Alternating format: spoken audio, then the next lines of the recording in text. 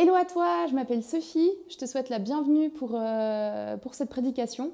Et vraiment, profite à fond et puis vraiment ouvre aussi ton cœur à, à ce qui pourrait te parler et ce qui pourrait te toucher pendant cette prédication. Trop bien. Il n'y a que moi qui trouve ça trop bien. All right, all right. Bienvenue, merci d'être là. Bonjour à tous. Vous allez bien? Ok, je- je- ça va aussi, merci, ça va aussi, c'est bon. On est à l'église, mais ça ne veut pas dire qu'on doit être silencieux, Euh, ça ne veut pas dire qu'on ne peut pas vivre les choses ensemble, je sais, les masques, toutes ces choses-là, mais soyons ensemble ce matin. Si vous regardez les si vous essayez de trouver les cinq phrases les plus connues de Jésus-Christ, comme diraient les jeunes, les cinq punchlines de Jésus, il y en a une qui régulièrement ressort, qui dit grosso modo la chose suivante, vous êtes le sel et la lumière du monde. C'est une interpellation, c'est quelque chose que Jésus nous dit. On va directement le lire dans la Bible et puis on va, s'intéresser un petit peu à ça ce matin. On lit ça dans Matthieu 5, les versets 13 à 16. Ça dit la chose suivante, vous êtes le sel de la terre, mais si le sel perd sa saveur, avec quoi la lui rendra-t-on? Il ne sert plus qu'à être jeté dehors et piétiné par les hommes. C'est Jésus qui parle. hein. Vous êtes la lumière du monde. Une ville située sur une montagne ne peut pas être cachée. Et on n'allume pas non plus une lampe pour la mettre sous un seau, mais on la met sur son support et elle éclaire tous ceux qui sont dans la maison. Que de la même manière votre lumière brille devant les hommes afin qu'ils voient votre belle manière d'agir et qu'ainsi ils célèbrent la gloire de votre Père céleste. Aujourd'hui, mon message s'intitule Ne te cache pas. Je sais qu'il y en a plein qui prennent des notes. Ah, C'est bon, vous êtes mes chouchous. Euh, continuez à le faire.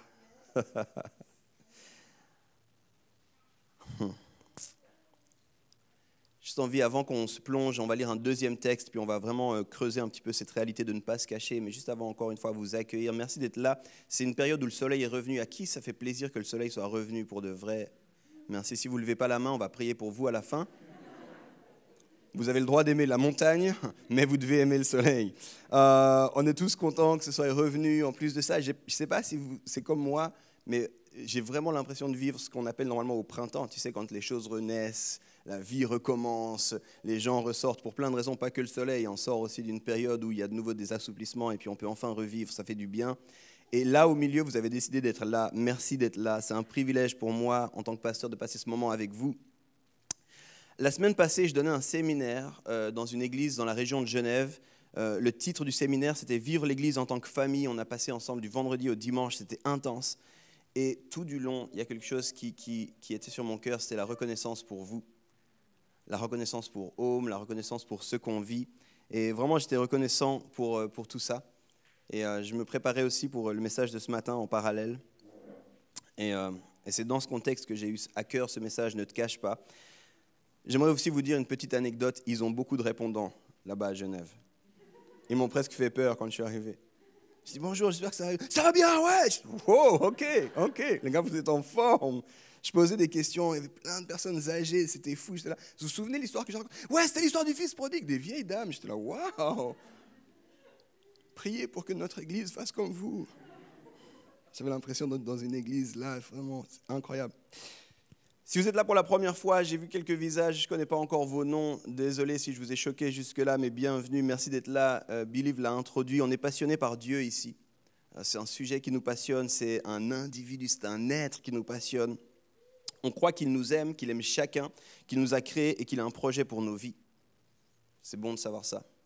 Et puis on croit que ce projet de vie se développe notamment au travers d'une communauté, d'une vie de famille spirituelle, d'une église, et c'est pour ça qu'on se réunit de temps en temps.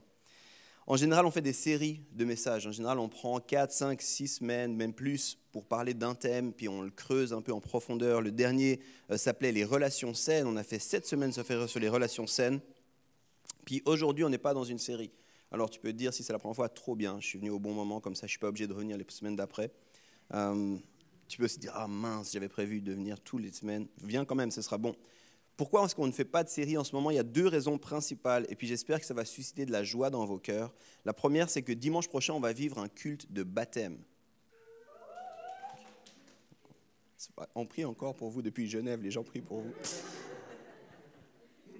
Plus précisément, on va vivre deux célébrations de baptême. La semaine prochaine, neuf personnes vont se faire baptiser. Et ça, je crois que c'est une bonne nouvelle. Daniela, lead-les, montre-leur comment on célèbre un petit peu ça. Comment on va vivre des cultes de baptême et on veut vraiment prendre le temps pour les baptiser, pour leurs invités, prendre le temps avec eux. Donc on sera vraiment autour de la notion du baptême. Venez si vous pouvez, parce que là les inscriptions euh, sont déjà, les baptisés ont déjà une liste d'invités, donc ce sera vraiment réduit. Mais euh, si vous le pouvez, venez, venez vous réjouir avec eux, entendre aussi leurs témoignages. Ce sera le matin, le soir. Si vous connaissez quelqu'un qui se baptise, demandez-lui si c'est le matin ou le soir. Vous pourrez entendre un petit bout de son histoire. Et puis le dimanche d'après, on va avoir le privilège de vivre euh, un, dimanche en famille un peu spécial. Nous, on les appelle les Family Talk. Et on va avoir notamment l'occasion d'envoyer différentes personnes ou bien de reconnaître différentes personnes dans leur appel, dans ce que Dieu a pour eux. Et il y aura notamment Gilles et Mathilde qui sont là au premier rang. Yes.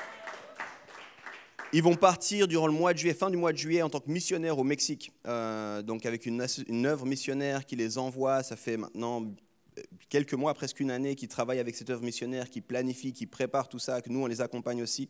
Et ce sera un privilège de pouvoir juste prendre le temps aussi de les célébrer, de prier pour eux en tant que famille spirituelle, euh, de les bénir. Il y aura, on annoncera aussi à ce moment-là, il y aura un culte officiel dans le courant juillet euh, d'envoi justement, mais on veut prendre le temps en famille de pouvoir aussi les entendre. Ils vont discuter un petit peu avec nous. Donc, pour ces deux raisons principales, baptême, envoi de missionnaires, on va pas avoir de série. Mais ce n'est pas grave, ça va être vraiment bon. Et aujourd'hui, j'ai envie de te parler justement d'être sel et lumière. Euh, si tu me connais, j'ai souvent un côté plutôt enseignant. Euh, j'aime bien prendre le temps de, décortiquer, d'expliquer, de donner des références pour ça. Aujourd'hui, je vais prendre ma casquette de coach. Donc aujourd'hui, je vais plus te pousser un petit peu. Aujourd'hui, je vais peut-être t'embêter un petit peu, je vais peut-être gratter un petit peu, ça fait peut-être un petit peu mal. Euh, tu m'excuseras. Mais je crois que c'est important, je crois qu'on vit une saison importante largement. Je ne parle pas ici du printemps, de pouvoir sortir, je ne parle pas de l'été, des vacances d'été, comment on va faire, est-ce qu'on peut sortir ou pas.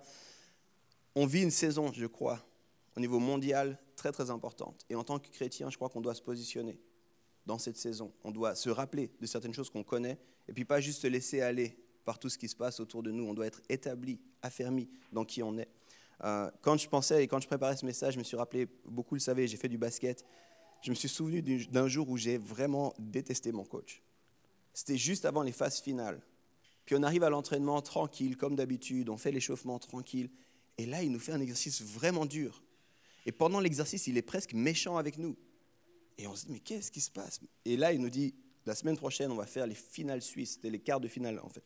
Les quarts de finale suisses. J'ai envie que vous soyez le plus près possible. J'ai envie que personne puisse vous déstabiliser. Alors je vous déstabilise moi avant.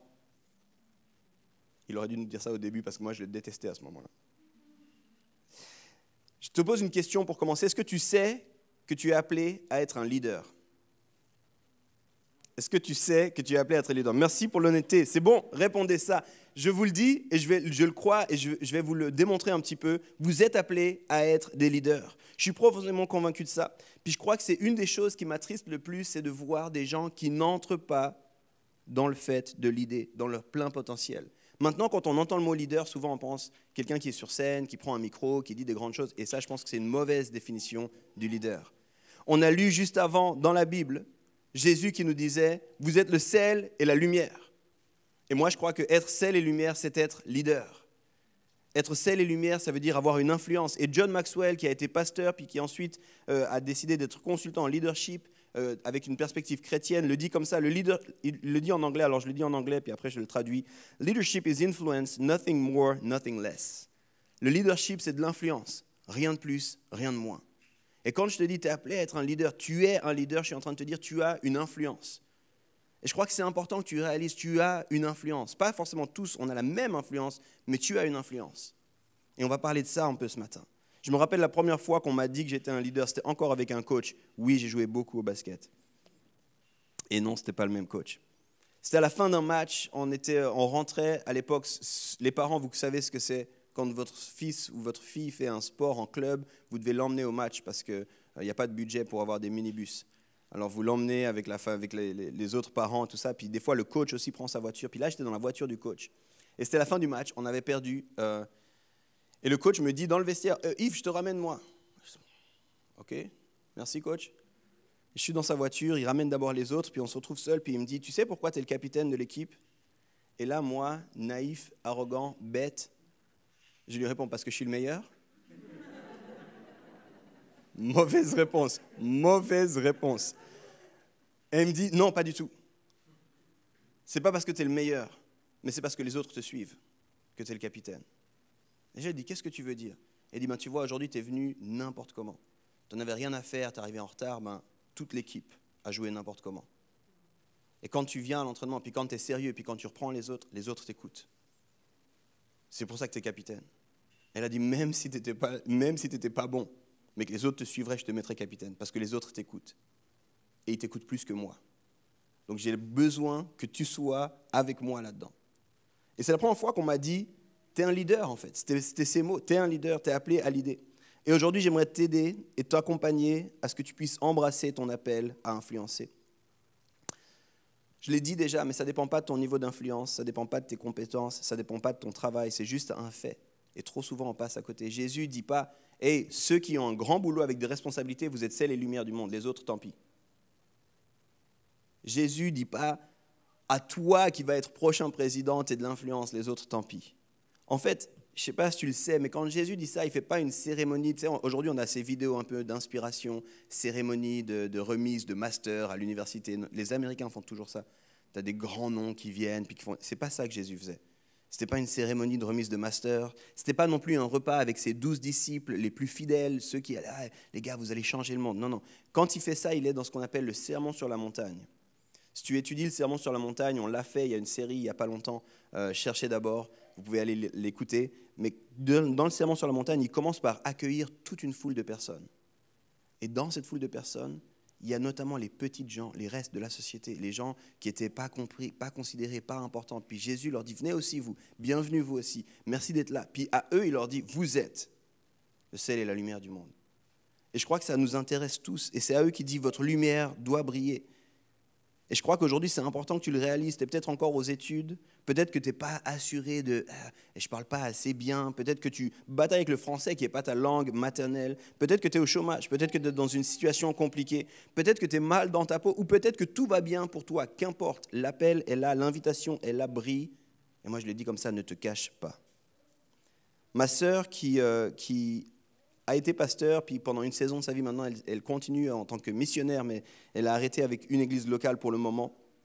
Elle me disait souvent, un des problèmes dans l'église, c'est que les gens sont contents d'être une salière, mais ne veulent pas être répandus en tant que sel.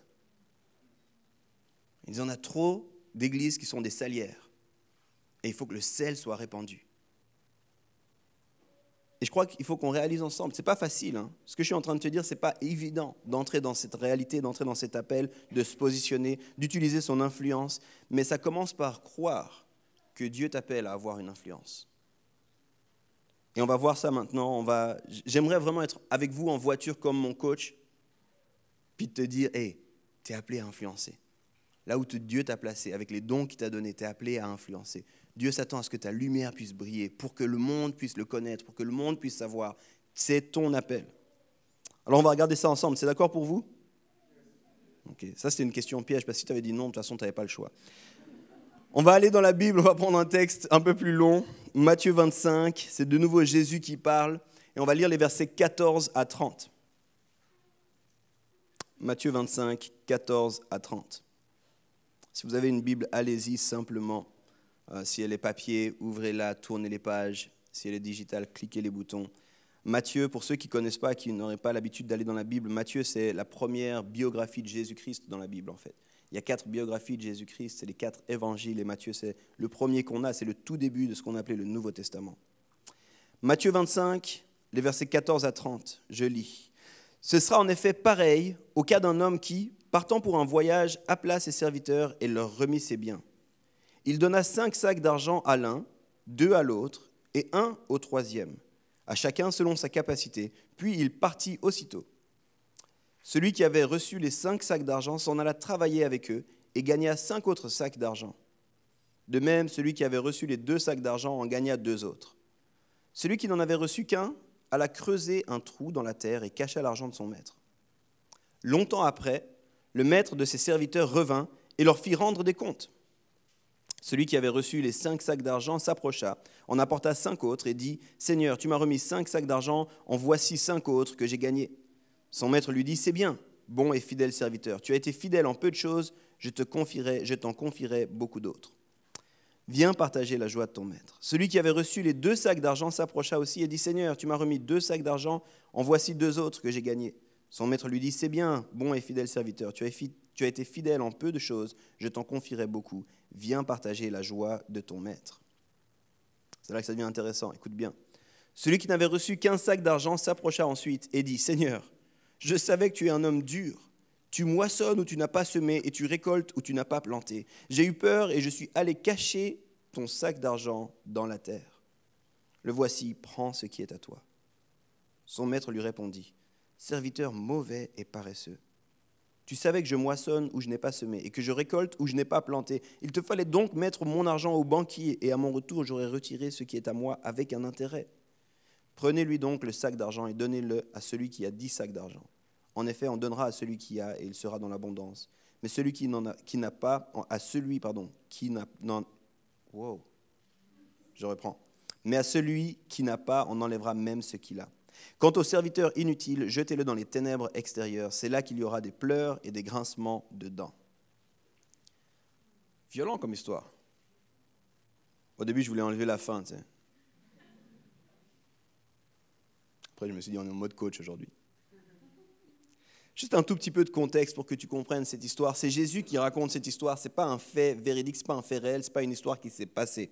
Euh, on appelle ce genre d'histoire des paraboles. Et, Jésus utilise beaucoup de paraboles dans son ministère, dans sa vie. Il y en a beaucoup qui nous sont racontées dans la Bible. Et en fait, les paraboles, c'est des récits, des histoires que les contemporains allaient pouvoir comprendre. Puis certains appellent ça des allégories ou bien des métaphores. Et puis, en gros, c'était que certains des éléments qui étaient sur son cœur allaient mieux passer au travers d'une histoire. J'ai regardé dans le dictionnaire et puis voilà comment on définit la parabole. C'est un genre littéraire en usage dans le judaïsme proche-oriental consistant en une comparaison développée dans un récit conventionnel dont les éléments sont empruntés à la vie quotidienne et permettant de concrétiser un aspect de la doctrine. Euh, il y a beaucoup de, beaucoup de cultures où aujourd'hui on utilise encore, on n'appelle pas forcément des paraboles, mais c'est comme une petite histoire. Les parents racontent une histoire euh, à la fin de la journée à leurs enfants, puis à chaque fois une morale derrière l'histoire. C'est comme si, au travers de cette histoire, les enfants vont comprendre la morale. Si vous lisez le début de ce chapitre, Matthieu 25, il y a une histoire juste avant, une autre parabole juste avant où Jésus utilise puis l'introduit en disant ça c'est par rapport au royaume de Dieu. Et c'est pour ça que dans celle qu'on a lue, il continue en disant il en est de même. En effet, il en est de même. Il continue. Voilà une autre histoire pour continuer à vous expliquer ce que j'ai envie de vous dire. Et dans cette parabole, on voit trois personnes et les trois ont reçu quelque chose à un moment donné. Puis plus tard, on va leur demander qu'est-ce que vous avez fait avec ce que je vous ai donné? Tu te souviens le titre, hein? Ne te cache pas. Et je crois qu'on doit réaliser ici une première chose issue de cette parabole, c'est que Dieu nous a donné à tous quelque chose. Dieu nous a donné à tous quelque chose.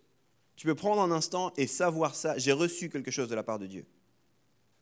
Là, laisse-moi te dire, aujourd'hui, on a de la peine, on a de la facilité à voir ce que les autres ont reçu, mais on a de la peine à accepter cette réalité-là. Dieu m'a donné quelque chose.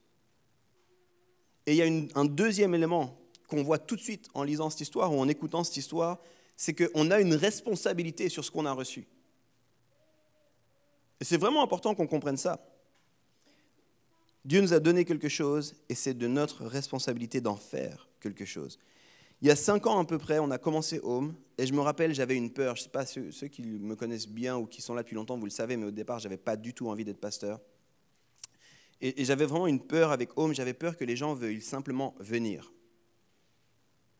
C'est une peur bizarre en tant que pasteur, mais j'étais là, imagine si les gens veulent juste venir. Et les quelques personnes du noyau qui étaient là disaient, ben, c'est pas un problème, c'est bien, il faut que des gens viennent. Puis moi j'étais là, non, non, je crois que Dieu n'est pas intéressé à ce qu'on vienne, il est intéressé à ce qu'on reparte.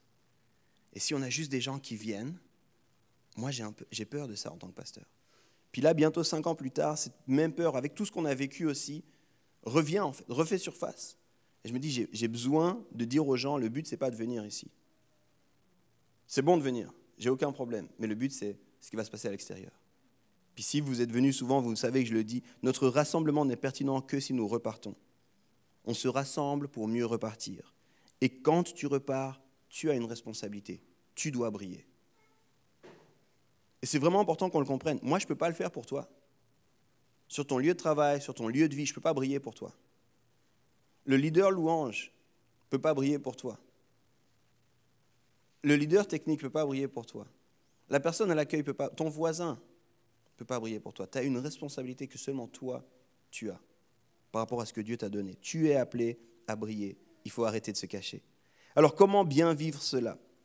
Je crois qu'il y aurait énormément de choses qu'on pourrait dire là-dessus, mais je vais en, en prendre deux que j'estime majeures. Puis avant ça, je veux juste encore insister, appuyer davantage sur ça. La différence dans cette histoire, c'est pas qu'est-ce que j'ai reçu. Jésus fait peu de cas dans cette histoire de pourquoi un avait cinq, pourquoi l'autre, euh, quatre, pourquoi l'autre avait un. Certaines traductions disent des talents. J'aime beaucoup cette traduction des talents. Il dit pas, mais, oh, mais c'était bizarre que lui avait quatre talents, lui le pauvre que deux talents. Il n'en parle pas du tout pour lui, c'était comme un fait, c'est juste comme ça. Certains ont quatre, d'autres ont deux, d'autres ont un.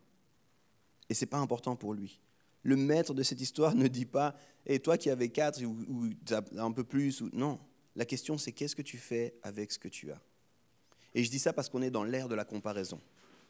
On est dans l'ère où on regarde toujours qu'est-ce qui se passe à, gauche, à droite, à gauche, qui a quoi, comment? Il faut arrêter ça. Arrête de te comparer. Qu'est-ce que tu fais avec ce que toi tu as? Et si tu es là, le simple fait que tu sois présent, mais même si je te croise dans la rue, ça suffirait pour moi de savoir que tu es appelé à l'idée. Tu es appelé à briller. Je le dirais comme ça, il n'y a pas de hasard avec Dieu. S'il a voulu que tu sois sur terre, il avait une raison pour te placer sur terre. Et je lui fais confiance. D'accord? Je lui fais confiance. Donc quand je vois quelqu'un, n'importe qui, je sais que cette personne, elle a une raison d'être. Jamais au ciel, il y a un concile où Dieu appelle les anges, Dieu appelle... Et puis, qu'est-ce qui s'est passé? Pourquoi cette personne est là? Ça n'arrive pas. Il sait et tu as une raison d'être. Alors arrête de te comparer, s'il te plaît. Écoute ce message sans dire, ouais, mais moi si, moi ça. Laisse ça de côté dit, je suis appelé à influencer avec ce que Dieu m'a donné. Alors bien sûr, il faut se poser la question, qu'est-ce qu'il m'a donné? Et ce matin, on va plutôt regarder comment est-ce qu'on peut entrer dans cette réalité.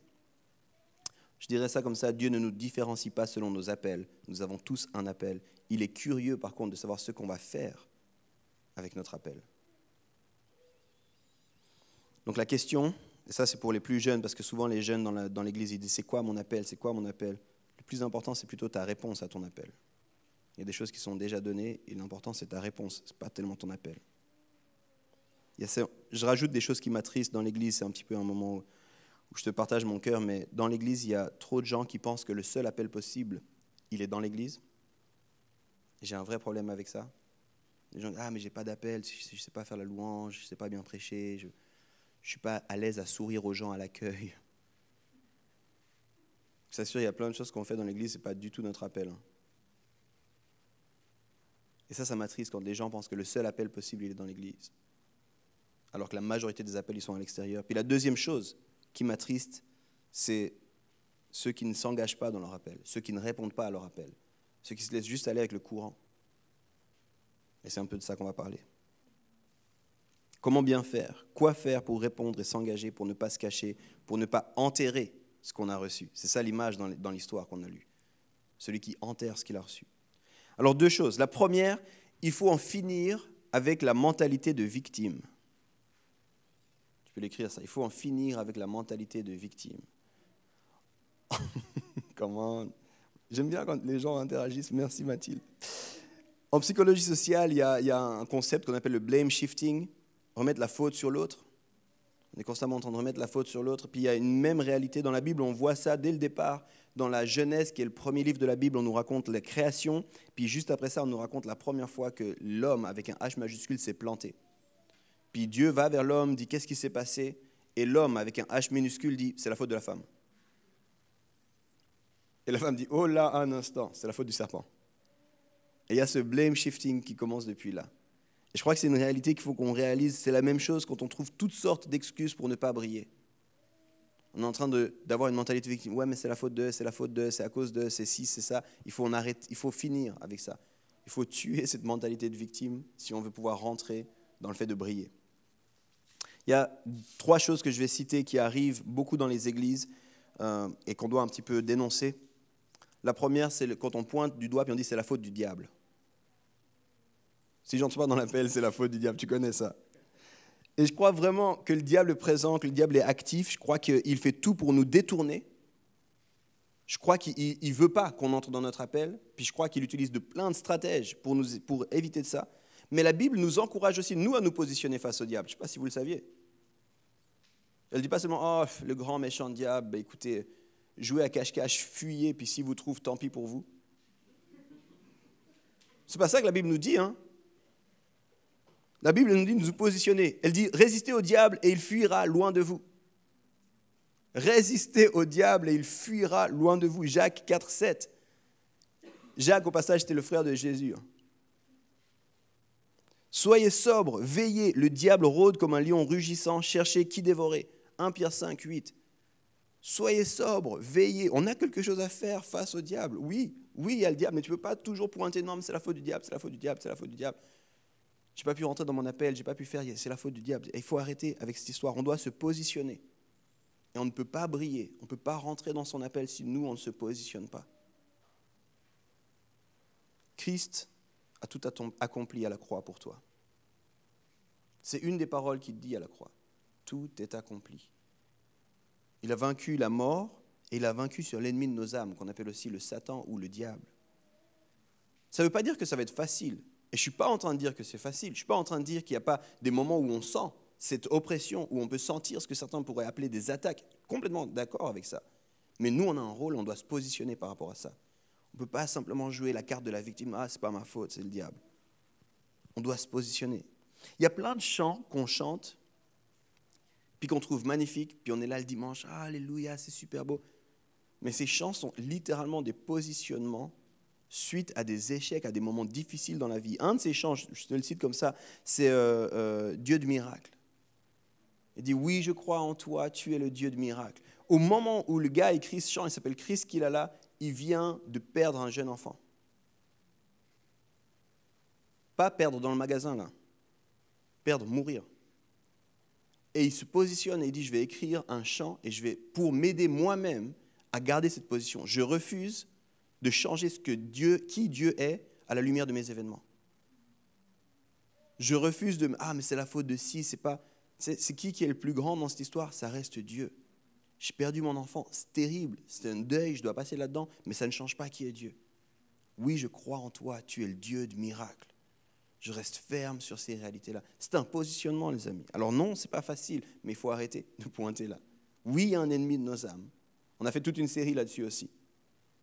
Mais nous, on doit se positionner en tant que chrétien. Et on ne peut pas constamment pointer le doigt. Ah, mais c'est la faute de. Deuxième endroit où on pointe souvent du doigt, c'est la faute du monde ou alors la faute à quelqu'un. Ah, mais ces gens-là, ils ne peuvent pas m'écouter, mais j'aimerais vraiment entrer dans mon appel, mais tu vois, je suis le troisième enfant dans ma famille. Quoi? Je sens que j'ai un appel à témoigner, mais tu vois, mes collègues ne veulent pas m'écouter. C'est toujours la faute du monde, c'est toujours la faute de quelqu'un. C'est aussi dimension de victime, ah, je suis persécuté par les gens. Si seulement les responsables me donnaient plus de place, si le monde était un peu moins opposé. Récemment, j'écoutais une interview d'une femme que j'admire beaucoup, qui s'appelle Christine Kane, elle est notamment fondatrice de, ce qui s'appelle A21. C'est un mouvement qui vise à l'abolition de l'esclavage euh, au XXIe siècle. Quelque chose d'énorme. Elle fait un énorme travail, notamment pour euh, aider les gens à sortir de la traite sexuelle. Euh, c'est fou, là, dans le monde entier. Puis elle racontait quand elle était à l'université. Puis elle disait, c'est un moment dans sa foi, dans sa marche avec Dieu, c'est un moment qui a changé sa vie. Elle était à l'université, et puis elle hésitait un petit peu de, de, de dire ce qu'elle croyait, de se positionner, justement. Elle avait un peu de doute. Elle disait, ah, mais les autres, et puis, ah, ce qu'ils pensent de Dieu, et puis on est quand même dans une société séculière et tout ça. Et puis dans la même période, elle était en Australie, puis la grande mode, le truc qui, était un boom, c'était les pattes def. Seigneur, en prie pour ça. Et, et, c'est pas ça le truc important mais je prie quand même pour ça. Et la deuxième chose, c'était les, rave parties.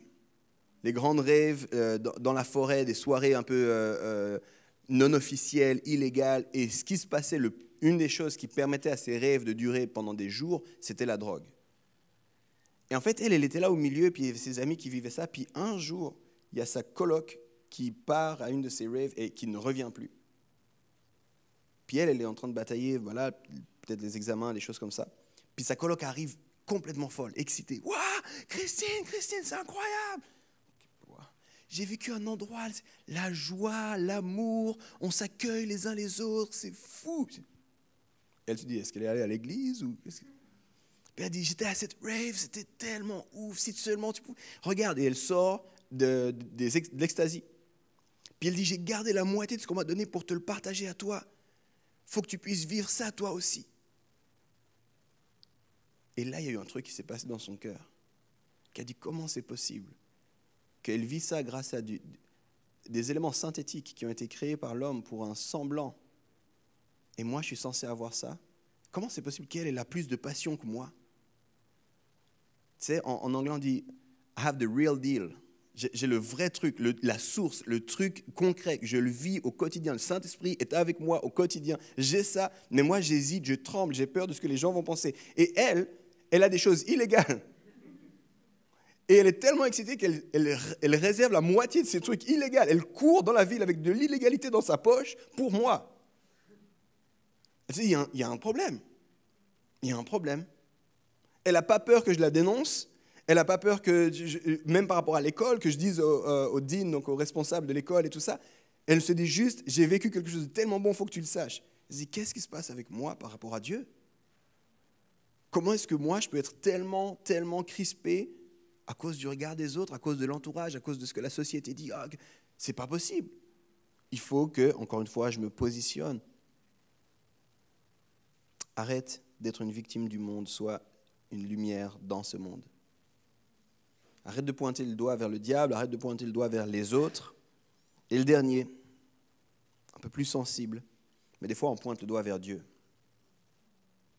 Ah, si vraiment il voulait que je fasse quelque chose, il aurait trois petits points il t'aurait fait différemment, il t'aurait donné des dons différents, il t'aurait placé à un endroit différent, il t'aurait placé à un moment différent. Et des fois, on en veut à Dieu. Des fois, on en veut à Dieu aussi pour des blessures. Si vraiment il voulait ça, pourquoi il n'a pas répondu à ma prière il y a X années quand je lui ai demandé ça et Puis on pointe le doigt vers Dieu pour ne pas briller. Puis ça devient la faute de Dieu. Et c'est un peu comme si le serviteur dans l'histoire, d'ailleurs c'est un peu ce qu'il dit il dit, j'ai caché mon talent parce que je te connais. Si vous lisez ça, c'est ça qu'il dit. Il dit, je te connais. Et la réponse est vraiment intéressante. Il dit, si seulement tu me connaissais vraiment. Ça, c'est la pire des choses que tu pouvais faire. Si tu me connaissais, tu aurais fait le minimum, c'est de le mettre à la banque. J'aurais au moins eu un intérêt. Donc littéralement, le serviteur dit, j'ai fait ça, j'ai caché mon talent parce que je te connais. Puis le maître dit, si seulement tu m'as connu, c'est la dernière chose que tu aurais pensé faire.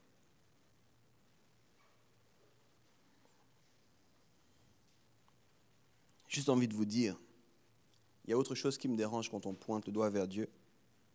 C'est qu'en tant que chrétien, on est censé reconnaître la souveraineté de Dieu. Et quand on pointe le doigt vers Dieu, c'est comme si nous, on se place à la place de Dieu, puis nous, on sait mieux que Dieu. Il aurait fallu que, il aurait fallu que tu me donnes ci, que tu me fasses ça, que tu me places là. C'est comme si nous, on savait mieux que Dieu. Et quand on fait ça, ben, on ne laisse pas Dieu être souverain en vrai. Alors je le comprends, ce n'est pas toujours facile. Des fois, c'est lié à des blessures, à des, des, choses qui sont passées, mais, mais laisse Dieu être Dieu. Laisse Dieu être souverain. À la limite, fais comme David dans les psaumes. Dis à Dieu, je comprends rien du tout, mais toi, tu es Dieu. Et je te fais confiance. Et tellement souvent, on ne peut pas faire ça parce qu'on est dans cette comparaison, parce qu'on regarde. Et littéralement, je pense à cette histoire et, j'imagine les serviteurs les uns en face des autres, les uns à côté des autres. Puis un, voilà quatre pour toi, talent, voilà deux. Et moi, je sais, si je suis le deux, je dis, il y a un moment de question après ou? Pourquoi lui, là, il a quatre et moi, j'ai deux Et ça, c'est moi, je te parle de moi, je sais que toi, tu es mieux que moi. Mais moi, je serais comme ça. Pourquoi lui, là? Eh. Ça, il a mal regardé. Le, maître a mal regardé. S'il m'avait donné à moi, j'aurais fait mieux. Et après, bon, le maître part vite. C'est ça que l'histoire nous dit. Juste après ça, aussitôt, il s'en alla. Et moi, j'imagine que j'aurais pris mes deux, j'aurais regardé les autres, j'aurais dit, on y va? Et j'aurais regardé l'autre, qu'est-ce qu'il fait avec ces cartes Moi, Moi, j'aurais pas fait ça. Si moi, j'étais à sa place, en tout cas, ah, pourquoi il fait ça? Oh non, n'importe quoi. Et après, je regardé celui qui a un, peu heureux. Tu l'enterres comme ça. Hmm. Tu ne connais pas ton maître. Hein. Il va revenir. Oh, il a déjà deux de plus. Oh, il faut que je me mette à travailler. Moi, c'est comme ça que j'aurais fait le truc. Pas toi, mais moi. Mais ce que l'histoire nous dit, c'est occupe-toi de ce que Dieu t'a donné. Regarde pas quel l'autre, la vitesse, quoi, comment c'est. Combien hein? Oh, on va se lancer dans la vie. Ouais, j'ai juste fini mes études. Hmm. Hmm. Finis tes études. Tu crois que ce sera plus calme après? Tu verras. Tu verras. Il y en a d'autres qui sont passés par là. Tu verras. Les études sont finies. Alors, tu as fini les études. Mais c'est le stress, je cherche un emploi, c'est la crise de l'emploi en ce moment, tu ne comprends pas. Hein? Non, parce qu'il y a six mois, tu m'avais dit quand j'aurais fini mes études. Là, c'est, là, c'est l'emploi maintenant. Après, tu as retrouvé l'emploi. On fait la fête, j'ai mon emploi. Deux mois après. Alors, c'est bon? Oh, Et les surcharges professionnelles, si tu savais, le patron, il me demande tellement. Non, pas de problème, pas de problème. Un an après. Non, on essaie d'avoir des enfants maintenant, il faut aussi qu'on se concentre pour ça. Ah bon? À un moment donné, tu te retrouves devant ton maître et dis Qu'est-ce que tu fais avec ce que je t'ai donné? Qu'est-ce que tu vas faire avec ce que je t'ai donné? Et comprends-moi bien, on navigue tous ces réalités. Hein. Là, je te parle, j'ai quatre enfants en dessous de cinq ans. Je sais que c'est dur, tu dois apprendre à dire non, il y a des choses que tu ne peux pas faire, mais, mais Dieu t'a donné une influence. Est-ce que tu vas la saisir puis entrer dans ce que Dieu a pour toi? Et ça, c'est entre tes mains. Je terminerai avec une petite note en particulier pour euh, les théologiens parmi nous et tous ceux qui sont fans de l'Église. Parce que souvent les chrétiens disent notre modèle, c'est l'Église primitive. Si tu as entendu un chrétien dire ça, je, le décortique pour toi, je te le traduis. Ce qu'il est en train de dire, c'est que son modèle, c'est la première image de l'Église qu'on a dans la Bible. Il y a un livre qui s'appelle Les Actes des Apôtres qui nous explique ce qui s'est passé. Et c'est un des livres que j'ai le plus lu et le plus étudié de la Bible. Il est fascinant, je le lis régulièrement comme juste... C'est un livre facile à lire, en plus c'est un livre un peu historique, enfin, plein d'événements qui s'enchaînent, c'est assez cool, des personnages qui restent, c'est facile vraiment à lire. Mais une chose que je trouve intéressante quand j'étudie le livre des apôtres, des actes des apôtres, c'est que j'ai jamais vu la mentalité de victime dedans. Jamais vu. Si tu lis ce livre, tu verras, c'est sans doute aussi un des livres où les chrétiens ont été le plus persécutés. Après, on a des lettres, donc on n'a pas les histoires de la persécution. On sait qu'il y a de la persécution, mais là, tu vois cette persécution. Et là, tu vois combien de fois ils se plantent, les gars. Mais quand je dis ils se plantent, ils se plantent. Ils se plantent. Ouais, on va faire comme ça. Non, ça marche pas. Ok, on va faire comme ça. Alors, ça marche pas. Les gens sont pas contents. Il faut qu'on fasse différemment. La persécution, il faut qu'on parte. Mais à aucun moment ils disent on va arrêter de briller, ça devient trop compliqué. À aucun moment donné, il y a une histoire qui me fascine. C'est acte 11-12, je crois, la transition, je ne l'ai pas dans mes notes. Toujours est-il, Pierre est en prison. Et euh, Pierre est en prison et on nous dit simplement que Jacques a été tué. Et que c'est comme si les gens ont aimé le fait que Jacques ait été tué. Puis il faut savoir, c'était vraiment une persécution violente, c'était souvent des, des mises à mort publiques. Et du coup, c'est comme, comme si c'est sûr que Pierre va aussi se faire tuer. Parce qu'il est en prison, puis il attend littéralement la fin. Et il est en train de prier, et puis on nous dit que les autres chrétiens sont en train de prier. Et on nous dit juste que miraculeusement, c'est ceux qui veulent vivre des miracles, miraculeusement, un ange débarque, lui dit Pierre, viens, suis-moi, ouvre la porte, tous les gardes sont en train de dormir, tout ça. Pierre sort calmement de la prison en marchant. Et il va retrouver les gens qui sont en train de prier rien que si tu étudies ces miracles, il y a trop de choses que j'aimerais dire là-dessus. Mais il va retrouver les gens sont là. Quoi, Pierre, tu es là? Et personne nous dit, on a arrêté à ce moment-là. Au contraire, ils ont davantage d'entrain. On va continuer, c'est bon.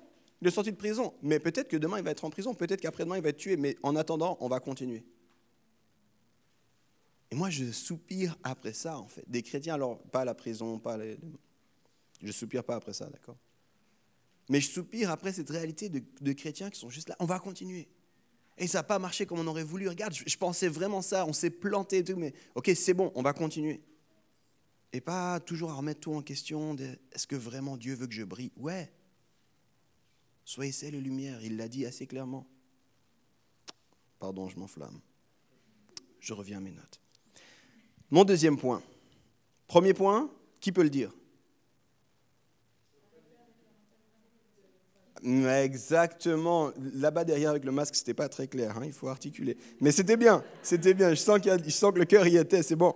Arrêtez avec la mentalité de victime. Deuxième point, il faut que tu prennes la responsabilité sur ce que Dieu t'a donné.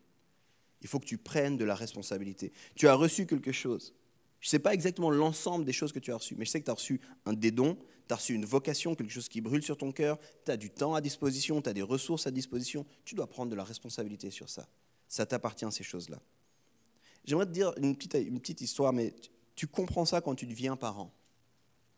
Parce que quand tu deviens parent, c'est comme si en un instant qui dure neuf mois, en un instant, d'un coup tu réalises. Moi je me souviens, c'est souvent ça, c'est le moment où tu rentres de la maternité ou alors de la maison de naissance, parce que d'un coup il n'y a plus personne à part toi pour t'occuper d'un petit être qui pleure, qui fait ses besoins, puis qui te regarde bizarrement. Il n'y a personne, tu peux pas sonner un truc, venez voir, euh, est-ce que j'ai bien fait la couche? Si tu mets la couche à l'envers, il n'y a personne qui va te le dire. Tu vas ouvrir la couche, ça va tomber, tu vas dire, oh mince, prochaine fois je mettrai dans l'autre sens. Si tu mets la chaussette mal, tu ne le sais pas, tu es seul, mais tu as une responsabilité sur cet enfant. Tu as une responsabilité sur ce petit être. S'il y a un problème qui se passe, c'est toi qu'on va regarder. Et ça, tu le comprends d'un coup. Hier, on était à la piscine avec les filles. Et euh, Janet me demande d'un moment, elle est où Azaya? Alors comprends quand je te dis ça parce que tu peux penser qu'on est des mauvais parents. Euh, on savait où elle était, ok? Elle était vraiment pas loin, à quelques mètres de nous. Simplement, les parents, vous comprenez. Vous êtes là, il y a les deux, on est en train de nourrir les deux dans la poussette. Il y a Elisha qui me raconte une histoire. Azaya qui est là, Ah, je vais aller dans la... Il dit, ouais, ouais, c'est bon, tu y vas. Et tu relèves les yeux. Hmm. Elle n'est pas si rapide que ça. Dans ta tête, tu flippes, tu dis peut-être, elle est montée trois étages ou quoi, mais elle n'est pas assez rapide pour ça. Et Janet ne la voyait plus, moi je la voyais encore, je dis non, elle est juste là. Mais tu comprends, il y a une responsabilité qui est là, c'est qu'au moment où tu demandes, elle est où mon enfant Personne, aucun parent à la piscine se dit, il fait quoi lui C'est qui lui Tu penses pas pour tout le monde, tu penses pour ton enfant à toi. D'ailleurs, quand il y a un enfant qui tombe puis qui se fait mal, oh mince, il est où son parent? C'est assez de travail avec tes enfants à toi, tu sais. Oh non, ben, je suis désolé. Euh, il est à qui? Il est à qui? Euh, Quelqu'un peut venir s'en occuper Demande aux parents dans la salle, c'est vrai, c'est vrai, t'es là, t'es au parc. Moi, ça m'arrive des fois et je suis énervé quand les parents, je suis au parc, le parent pousse son enfant sur la balançoire, d'un coup il part, l'enfant perd un peu de vitesse. Papa Papa Moi, je suis toujours un peu embarrassé. Mais tu fais quoi, papa? Après, je vais vers l'enfant. Salut, je suis gentil. Je suis pas méchant. Si tu es d'accord, je te pousse. Et t'as toujours peur. Qu'est-ce que le parent va penser quand il revient, un inconnu pousse son enfant sur la balançoire? Alors je suis un peu là. Est-ce que d'autres parents sont témoins que j'ai rien fait de mal? Est-ce que je vais juste l'aider parce que son parent est parti? Mais c'est pas ta responsabilité. Tu t'en fiches un peu. Au pire, il pleure. Ah, il pleure. Mais quand c'est ton enfant à toi qui tombe, hein, demande à n'importe quel parent. Et tu te lèves, tu sautes, tu es aussi agile que Spider-Man, tu te trouves un moyen, tu prends ton enfant, je suis désolé, viens là, ça va aller, tu as des forces surhumaines, je te porte jusqu'à la maison. tu sais. Parce que c'est ta responsabilité. T'es dont ton appel, c'est ta responsabilité. C'est toi qui dois faire quelque chose de ça. Personne d'autre ici qui pourra le faire pour toi. C'est tes dons, ton appel. Dieu t'a donné quelque chose. C'est ta responsabilité de briller. Personne d'autre pourra le faire pour toi, je l'ai dit avant. Souvent on se demande pourquoi. Mais lui, il devrait faire ça, il est vraiment bon avec ça. Laisse-le, dis-le lui vite si jamais. Mais occupe-toi, qu'est-ce que moi je fais avec ce que Dieu m'a donné? Laisse qu'est-ce que l'autre est en train de faire, qu'est-ce que l'autre il devrait faire, si, ça. Dans l'église, des fois, on est devenu tellement bon à être des spectateurs. Tu chantes à la louange. Saint-Esprit. Tu devrais chanter, tu chantes bien, toi. Tu devrais aller à la louange, ouais, c'est bon pour toi. Après, tu arrives après, à la fin, les gens te saluent et tout. Mais toi, tu es toujours souriant, toujours accueillant, tu connais tous les noms, tu devrais faire l'accueil. Mais toi, tu restes assis. Tu places tous les autres. Tu es comme le manager. Mais, toi, tu fais quoi? C'est quoi les dons que Dieu t'a donnés à toi? C'est quand que toi, tu te mets aussi en marche? Et pas, encore une fois, je l'ai dit, hein, pas dans l'église, mais dans la vie. C'est quoi que toi, tu fais? Je te laisse cette citation, elle m'a trop, trop, trop parlé. C'est euh, Theodore Roosevelt, président des États-Unis, je ne sais plus le combienième. Il dit la chose comme ça. Ce n'est pas le critique qui est digne d'estime, ni celui qui montre comment l'homme fort a trébuché ou, ou comment l'homme d'action aurait pu mieux faire. Tout le mérite appartient à celui qui descend vraiment dans l'arène, celui dont le visage est couvert de sueur, de poussière et de sang, qui se bat vaillamment, qui se trompe, qui échoue encore et encore, car il n'y a pas d'effort sans erreur et échec. Mais celui qui fait son maximum pour progresser, qui est très enthousiaste, qui se consacre à une noble cause, qui au mieux connaîtra le triomphe d'une grande réalisation. Et s'il échoue, après avoir tout osé, il saura que sa place n'a jamais été parmi les âmes froides et timorées qui ne connaissent ni la victoire ni l'échec. Moi, quand j'ai entendu cette citation, ça m'a... il y a quelque chose en moi, j'ai envie de faire partie de ces gens-là. J'ai envie, quand le maître arrive, j'ai envie qu'il me retrouve, tu sais, la sueur, la poussière. Écoute, je suis en train de travailler. Ah, t'es là. Je fais tout ce que je pouvais.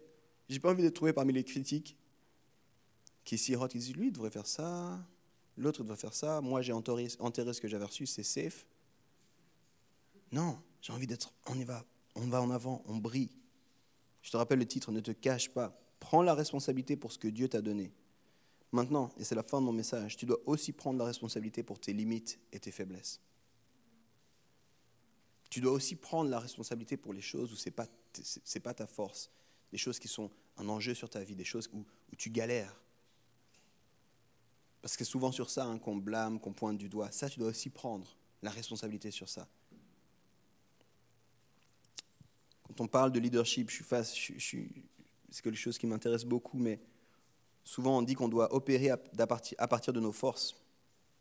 On doit trouver c'est quoi nos forces, puis essayer d'être dans nos forces, plutôt que d'essayer de toujours combler nos faiblesses. Puis je suis tout à fait d'accord avec ça. Je te donne un exemple. Depuis que je suis petit, il y a une branche à l'école qui est vraiment bizarre pour moi, c'est les maths. C'est les maths.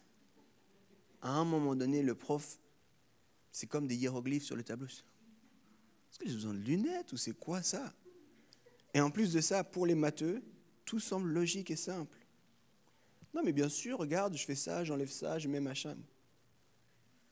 Mais attends, tu peux revenir trois étapes en arrière. Pourquoi tu fais ça? Pourquoi c'est.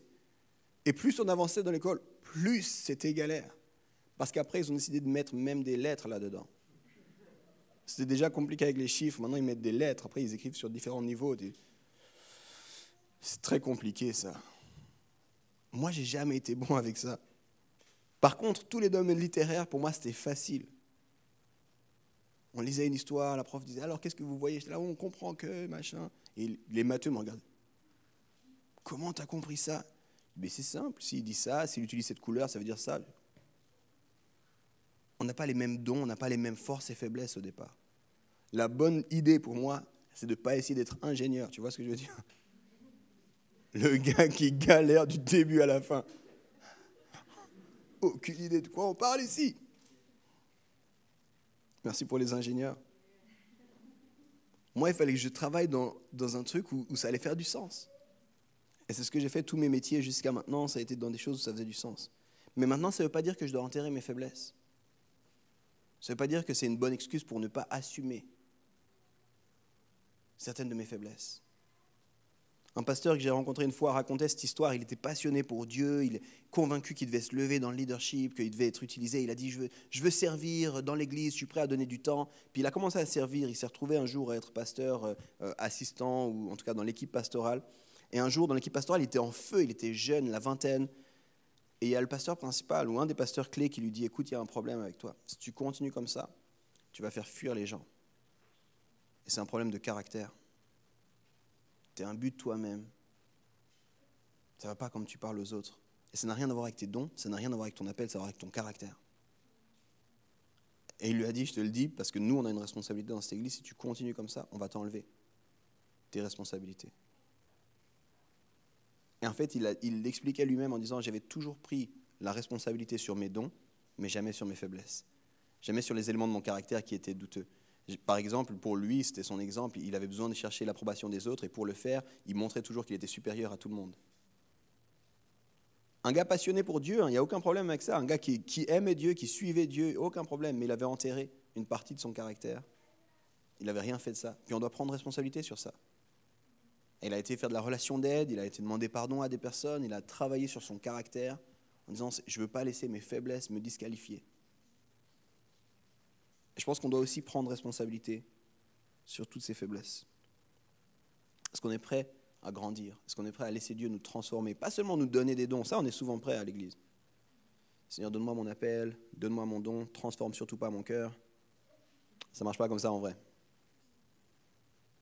Ça ne marche pas du tout comme ça. Dieu dit, j'ai d'abord envie de transformer ton cœur avant de te révéler les autres choses, parce que ça, c'est tellement plus important. Briller, ne pas se cacher, c'est aussi travailler à grandir, à faire fructifier ce qu'on a reçu, à reconnaître nos limites. Et j'ai besoin des autres pour pouvoir continuer. Je ne pourrais pas y arriver tout seul. Souvent, on le voit comme un signe de faiblesse. Ça, c'est un signe de grandeur, au contraire. Je vais conclure maintenant. Je crois, je sens que vous n'êtes pas trop heurté, ça va. Mais la vraie question, c'est qu'est-ce que vous allez faire de ça? Vous pouvez revenir à la louange, on va, on va chanter juste après. Mais la vraie question, c'est le, vrai test, si vous voulez, le vrai enjeu, c'est ce qui va se passer juste là dehors. Là, c'était le moment de l'entraînement. Vous m'aimez, vous m'aimez pas, vous pensez que c'est bien, c'est pas bien, c'est pas grave. Tout ça, c'est pas grave. Ce qui va se passer là, quand vous sortez, ce qui va se passer demain, quand vous arrivez au travail, quand vous rentrez à la maison, peut-être. Pour certains, c'est dans votre lieu de famille. Peut-être c'est par rapport à vos collègues. Peut-être c'est par rapport à vos voisins. Peut-être c'est là que ça va commencer, le vrai, le vrai enjeu. Est-ce que vous allez être sel et lumière? Est-ce que vous allez briller? On est dans un moment où il y a besoin, les amis, plus que jamais. Et si vous, me si vous me demandez à moi, en tant que pasteur, c'est quoi la meilleure stratégie pour l'Église? Ben, c'est ce que les chrétiens font du lundi au samedi. Ça, c'est la meilleure stratégie d'église. Après, on peut faire des choses ici, bien, pas bien, moins bien, ça, va. Mais ce qui va se passer du lundi au samedi, de la part des chrétiens, c'est ça qui va faire la différence. C'est pour ça que Jésus a dit, vous êtes sel et lumière. Le projet et la raison d'être de l'Église, ça je vais te le dire si tu ne savais pas. Pourquoi, pourquoi l'Église c'est pour faire avancer le royaume de Dieu sur terre? Ce n'est pas pour remplir des chaises le dimanche. C'est pour faire avancer le royaume de Dieu sur terre. C'est pour que les gens qui ne le connaissent pas puissent le rencontrer, qu'ils puissent être transformés, qu'ils puissent être réconciliés avec lui. Parce que c'est son cœur depuis le départ, depuis qu'il y a eu le péché, depuis qu'il y a eu la séparation avec Dieu, son cœur c'est de reconnecter avec nous. Puis il a mis tout en place, un projet, une histoire ensemble. L'ensemble de l'Ancien Testament nous raconte cette histoire-là. Puis arrive le moment où Jésus rend ça possible. Puis Jésus envoie l'Église avec un grand E. Demandant, allez-y vous aussi. Faites ça. Puis ça, c'est la fin de l'évangile. C'est Matthieu 28, tu peux aller lire si ça t'intéresse. Il dit, allez-y maintenant. Faites de toutes les nations des disciples, baptisez-les, enseignez-les. Mais au tout départ, quand il accueille les gens, il leur dit déjà, hé, vous êtes le sel et la lumière du monde. Et ça, ça n'a pas changé. À la fin, c'est de nouveau ça. Vous êtes le sel et la lumière du monde moi, j'ai cette crainte, puis je sens cette importance de rappeler aujourd'hui à l'Église, soyons sel et lumière. Arrêtons de nous cacher. Arrêtons de mettre sous un seau notre lumière. Arrêtons d'enterrer nos talents comme l'histoire nous le raconte. Et pour ça, tu dois prendre ta responsabilité. C'est ta responsabilité. Personne d'autre. J'espère que tu as bien pu vivre ce moment de prédication. Et pour plus d'informations et pour nous suivre, suis-nous sur les réseaux sociaux ou euh, sur le site internet églisehome.com.